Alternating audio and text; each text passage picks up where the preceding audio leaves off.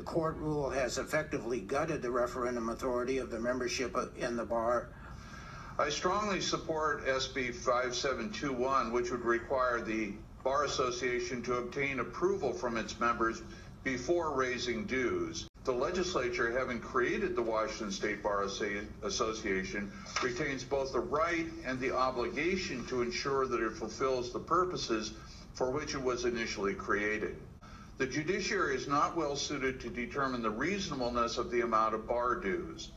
In light of the fact that nearly 30% of what they spend their funds on is not mandated, membership circulated a petition. Many members signed it. I was involved in that process and we gathered over 2,000 signatures. They were submitted to the Bar Association in accordance with the bylaws. Now, those bylaws read all qualifying petitions will be put to a vote of the active membership. But the WSBA did not want to have a vote of the membership. So instead, they went and met with the court. And after they did that, they decided that they would issue an executive order from the Board of Governors that, this, despite the fact that over 2,000 members of their organization, well over the 5%, had signed that petition they weren't even going to let it go to a vote and hear what the membership had to say. They plan on spending $5.4 million on non mandatory programs. That's programs they don't have to spend that money on. In terms of the Keller objection, uh, if one exercises that right, um, does that reduce one's um, obligation by that uh, by that third? The Keller deduction is uh,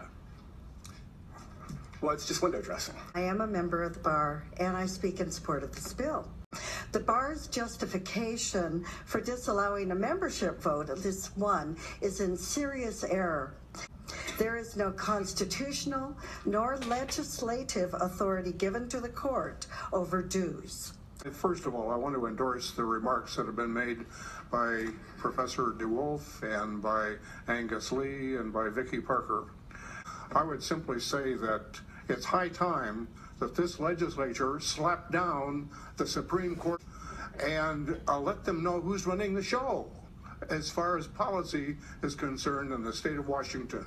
My name is Jill Karmy. I'm a governor serving on the Board of Governors for the State Bar. I am joined by Paula Littlewood, Executive Director of the State Bar.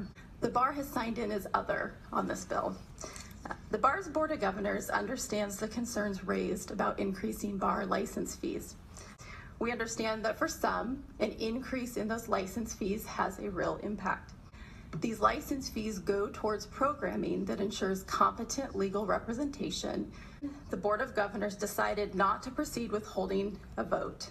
Just a question. Do you know how the uh, court reached that conclusion? Did you meet with them and, and brief them on this Is so that they had information? There was no hearings uh, or anything or any opportunity for the 2,000 members that signed the petition, which under the bylaws you're required to then put for a vote, and, and you decided not to do that, not to follow the bylaws.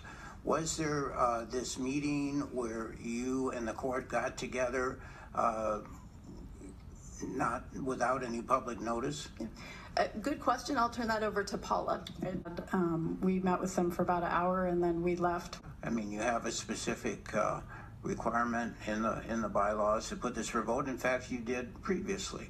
And I guess because the vote went the wrong way, we came up with this rule. And even though uh, we were assured, I was assured as chairman of the committee from from the bar and, and from the court, I thought uh, that this was just maintaining the status quo and was not going to be used in this uh, fashion to deny the the membership uh, a vote you've cut off their due process rights, basically. Um, all the GR 12 amendment did was codify a process that had been in place. They've never used it to, in effect, got a referendum uh, previously, have they? Not that I'm aware of. Senator Angel, you had a question? One of the questions I have is where does the authority come from to not follow the bylaws? You're all lawyers, right? So we assure you that we continue to work collaborative, collaboratively with our members to ensure adequate programming. Fees were escalating quite a bit until 2012, then they went down for about three years. from 450 back to 325, then they went up a little bit. because expenses were starting to exceed revenue. In terms of the history of sort of the up and the down, um, you know, we've been on this trajectory of, of reducing our footprint to be more effective.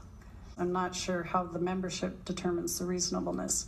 Is that this is a license fee, like your, you know, your driver's license or, you know, a hairdresser who needs a license to, to ply a trade. Um, Mr. Horenstein, uh, um, you know, I basically felt we received uh, assurances from your predecessor and the bar that it wouldn't be used in this way, and here, here we are. Do you have any comment on that? So, Mr. Chair, for the record, Brady Horenstein with the courts. Um, I'm sorry about that. I, I don't have any specific information I can offer about that, but I'm certainly apologize for the, the situation. And I guess my question to the Bar Association is, do you feel this hurts your, your credibility? What happened in this specific instance uh, that led to no referendum vote being held is that the court also said that the proposed fee, if passed, would be unreasonable. So I think in this narrow instance, we you you have this outcome, but I think that it in a different scenario. Yeah, I, I think that's why Judge Gozer referred into me as under the radar that this was uh, uh, an effort to get around it. Why else uh, would they would they offer that amendment? And and this is the way it's been used. And I guess if I was uh, sitting in the shoes of the people that are proponents of this bill, I would say, well, it seems our only option is a voluntary bar like other states have. If these sort of uh, activities are gonna gonna go on, where you're uh, imposing things and not and, and really violating uh, due process rights. Uh, uh, by the membership that are they're in the bylaws. I mean, it's one thing if you repealed the bylaws or took that section out, but it was in there. And then we have this new amendment, and we're told the legislature's told us it's just a status quo. Don't be worried. And then it's used to deny. Uh, basically, got a referendum. Yes, you could still have the referendum, and I guess if you really uh, were representing, in my view, your membership, you would have that referendum.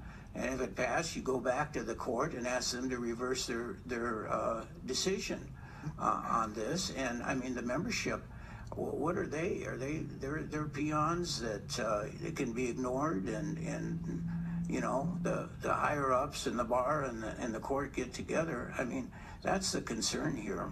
And at least with me, the the bar certainly loses some credibility as a result of the emails that were were sent.